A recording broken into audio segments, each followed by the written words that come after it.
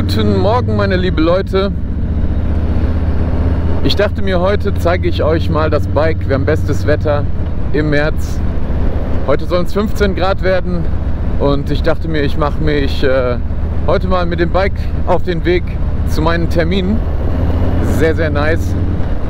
Und ähm, dann werde ich sicherlich gleich auch noch die Zeit finden, euch das Bike einmal wirklich zu zeigen.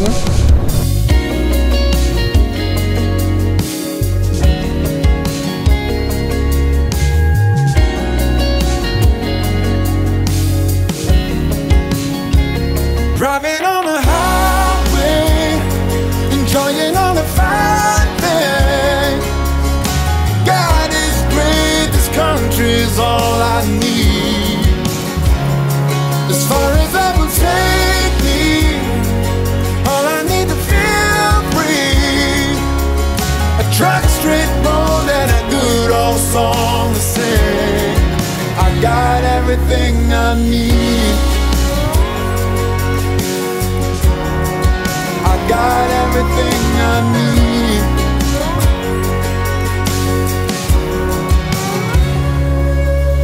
God, I wanna thank you for the good and bad things Okay Leute, das ist mein Bike. Das ist eine 2020er Street Bob. Ähm, also Harley Davidson Street Bob, so heißt das Modell, aus dem Jahr 2020 mit 107 Cubic Inch. Das ist so ungefähr ein 1,8 Liter Motor. Ähm, leider jetzt gerade nicht also nicht so sauber, wie ich sie eigentlich gerne hätte. Ich muss die auf jeden Fall mal zum Aufbereiter schicken. Wenn jemand in Dortmund einen guten Motorradaufbereiter kennt, dann äh, sagt mir auf jeden Fall mal Bescheid. Ähm, das allererste, was ich gemacht habe an dem Bike, sind die vorverlegten Fußrasten. Die sind ähm, normalerweise ungefähr, ja, ich würde mal sagen, so hier. Ich habe die nach vorne verlegt. Das ist einfach ein bisschen komfortabler beim Fahren. Ähm, das war das erste, was ich habe machen lassen. Das zweite, was ich habe machen lassen, ist dieser Schild hier, weil dieser Schild ist für mich so der Inbegriff von diesem Club-Style. Ne? Also äh, Club-Style heißt, du hast vorne ein Schild, meistens Bike immer komplett schwarz. Ähm, eigentlich hast du dann noch einen anderen Lenker, aber halt diese, auch diese Sitzbank, da komme ich gleich nochmal zu, ist auch äh, sehr, sehr häufig in diesem Club-Style ähm, zu sehen. Ähm, also so ein bisschen so wie diese Bikes von Sons of Anarchy, ne? Aber das ist halt jetzt eine modernere Version. Das sind so diese typischen Club-Style-Bikes.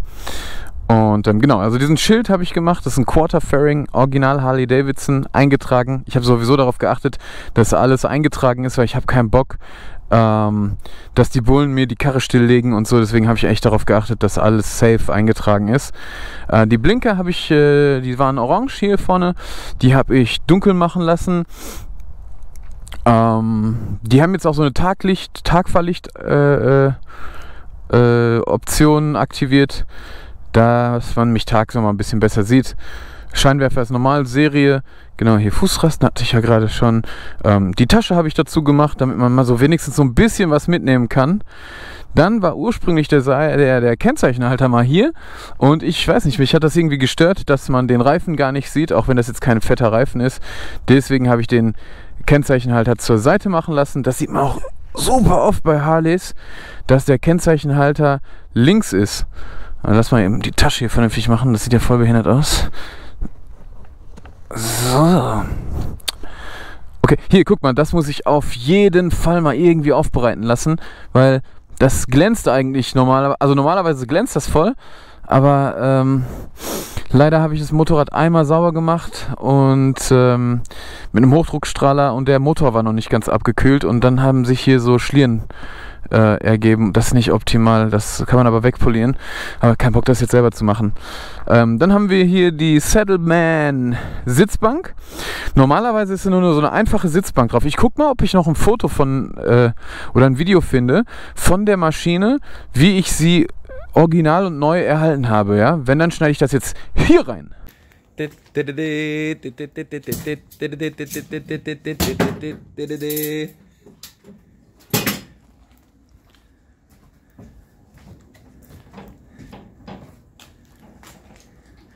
Das perfekte Wetter fürs Motorrad. Jo, achtet mal auf die gelben Blinker, auf den Kennzeichenhalter. Die Auspuffanlage sah noch anders aus. Außerdem, das ganz vergessen, ihr seht äh, an der Seite noch die ganzen Reflektoren. Der Schild ist nicht dran, Tasche nicht dran, also ist schon einiges gemacht. Und natürlich die Sitzbank. Okay, also ihr habt dann äh, wahrscheinlich gesehen, wie die Sitzbank original mal aussah. So eine einfache Sitzbank konnte man auch niemand mitnehmen, ähm, nichts hinten drauf machen. Und das Problem bei der ursprünglichen Sitzbank war, dass wenn du mal ein bisschen Gas gegeben hast oder bist auf der Autobahn gefahren, ähm, du immer das Gefühl hast, du bist, du wirst so hinten runtergedrückt, weil die war so flach und die hatte einfach keinen, keinen Rückhalt so im Rücken. Und dann habe ich diese Saddleman Step-Up-Sitzbank gekauft. Musste aus den USA importieren lassen, ist auch nicht ganz so günstig, aber das hat sich auf jeden Fall gelohnt. Ganz ehrlich, optisch bin ich mir gar nicht so sicher, was jetzt geiler ist. Ähm, ja, die andere Sitzbank war optisch auch echt nice, die war auch eigentlich bequem, aber was hier halt einfach geil ist, ist, dass man so ein bisschen Halt hat nach hinten. Ich glaube, wenn ich jetzt mal jemanden mitnehmen würde, das wäre auf jeden Fall auch deutlich bequemer als dieses, ich hatte dieses kleine Sitzpolster da hinten drauf, was Harley Davidson bietet, ähm, was man für die Street Bob drauf machen kann, das war nicht so geil. Ähm, auf jeden Fall Step-Up-Seat war auf jeden Fall die richtige Wahl. Ich habe dann nachträglich hier noch die ähm, Fußrasten anbringen lassen falls man mal jemanden mitnehmen möchte. Dann haben wir hier so ähm, Befestigungen. Hier könnte ich noch eine Sissy Bar dran machen. Ich fahre aber meistens ohne. Und hinten hatten wir ursprünglich so Blinker wie vorne. Also so diese ziemlich dicken Bullet Blinker mit den orangenen Lichtern. Das fand ich nicht cool. Ähm, das sah auch vor allem in Orange. Äh, in den USA sind die ja dann rot. Das fand ich geiler. Ähm, als dieses Orange in Deutschland, weißt du. Aber ich habe dann ähm, mich dazu entschieden, so kleine Blinker zu nehmen. Ah, lass mal die Maschine anmachen, dass wir mal das Licht so sehen. Ich blink mal, gucken, ob man. Genau, da sieht man das, ne?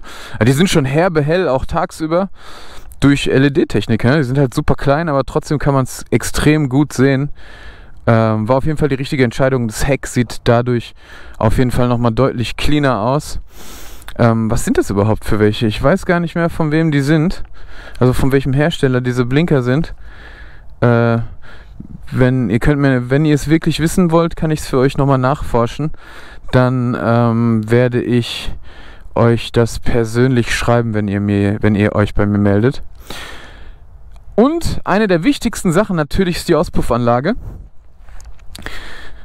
Ähm, das ist ja so, dass wenn du heutzutage eine Harley Davidson kaufst, kommen die immer sehr, sehr leise aus dem Werk. Ne? Also irgendwie so dieser typische, dieses typische, kann man sich drüber streiten, jetzt geht es bestimmt ab gleich in den Kommentaren, kann man sich drüber streiten, ob das vernünftig ist oder nicht. Ähm, auf jeden Fall der Sound Factory-mäßig gefiel mir wirklich nicht. Vor allen Dingen, als ich mit den anderen Harleys dann unterwegs war und meine klangen wie so ein Staubsauger. Puh, boah, das Feeling kam einfach nicht auf. Also habe ich mich dazu entschieden, ähm, eine Jacqueline Hyde Klappenauspuffanlage einzubauen. Und die seht ihr jetzt hier. Ich habe mich für, ähm, man kann sich dann quasi die auch so ein bisschen zusammenstellen. Ne? Also hier so zum Beispiel die Endstücke, ähm, ob man mit dem Krümmer äh, ob man dann auch neuen Krümmer dazu haben möchte. Ich habe den Krümmer aus der ähm, Serie beibehalten und habe quasi nur die Endstücke mir äh, installieren lassen, weil das für mich auf jeden Fall reicht. Ähm, ich wollte auch nicht, dass der, der Auspuffzug, der wäre dann noch kürzer geworden. Ich wollte das nicht. Also das gefällt mir so mit am besten, auch mit diesen Endstücken. Und ich habe halt die Möglichkeit, den Sound des Motorrads zu beeinflussen. Ähm, Im ersten Vlog bin ich ja an so einem äh, Kinderwagen vorbeigefahren. Also nicht so ein Kinderwagen, also jemand so, der hat sein Kind oder einen Hund oder so hinten im äh, Anhänger beim Fahrrad äh, mit sich geführt. Und äh, da habe ich dann die Möglichkeit, zum Beispiel, wenn ich an, in so einem Fall jetzt an so einem Kinderanhänger vorbeifahre, die Maschine leise zu schalten, geht also quasi hier hinten im Auspuff ist so eine Klappe drin. Oh, guck mal, man die kann. Ja, genau. Da ist so eine Klappe drin und ähm, die geht dann zu.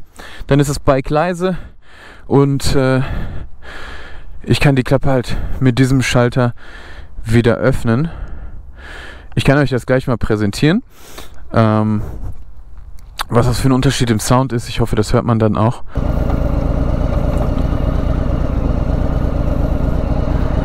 Genau. Okay. Also, ihr seht jetzt, ah, der Auspuff, ich hoffe ihr seht das, die Klappe ist zu.